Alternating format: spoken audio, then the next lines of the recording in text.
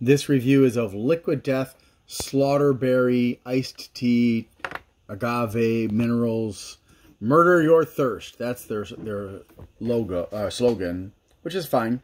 Microdose of natural caffeine, 30 milligrams per cat can. Blah, blah. Uh, not for children, women who are pregnant and nursing, and people who are sensitive to caffeine. I'm sure. You can illuminate this.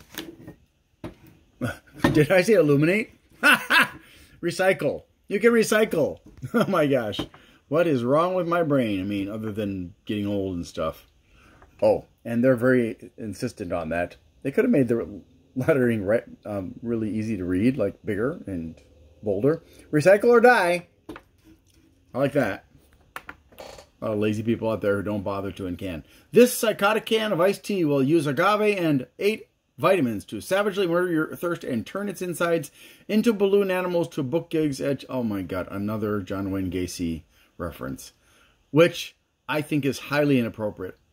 It's bad enough that christians think that this is satanic um, because of all the you know violent references in here and death and stuff. And then you reference a serial killer. Now you're really crossing the line. So liquid death yeah get that crap off your cans because I'm certainly not going to be supportive of it. I don't care if you want to call yourself Liquid Death. I don't care if you want to make references to death. I do care if you are kind of making references to serial killers that could be suggested as being in support of serial killers. That's wrong. That's vile. All right, so the can has got no fat or cholesterol, 5 milligrams of sodium, 7 grams of carbs, of which 6 are added sugars, and no protein. It's got B12 in it. Hooray. These are the ingredients. And that's it. So we're going to try it.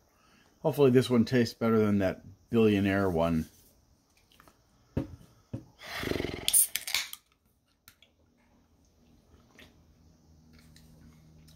Okay. Wow. Uh, just like the other one, there is very little sweetness. Now, when I drink like Olipop, the sweetness is at an enjoyable level. This, the flavor is not bad. You can taste berry. Not sure which berries exactly. It's kind of a, a mixture. But I, I would say strawberry and raspberry maybe. You can taste berry flavor. So it's nice. I'll give it a five. I'm gonna, I don't know. I'll give it a six. I'm going to try it with sweetener now. Honestly, because you are making references and trying to make uh, to normalize apparently uh, serial killers. Um, I'm gonna, you know, your score is effectively cut in half until such time as you decide to not do that. You know, again, you want to make references to death, that's fine. But when you start getting into the realm of normalizing evil, that is not okay. And it's very suggestive of the kind of people that work for Liquid Death, or at least in the marketing team and the leadership team. no, that didn't really help. I will most likely die of asphyxiation.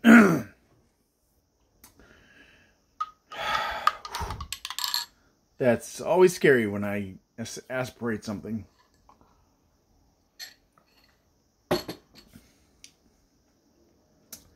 Unfortunately, adding erythritol to this not only did not bring out the berry flavor, it diminished it, which I did not expect. Maybe if I tried my sucralose, I would have gotten a better result. It doesn't really taste like tea. I mean, even without the erythritol, it doesn't really taste like tea. So, thanks for watching. Hope you have a great day.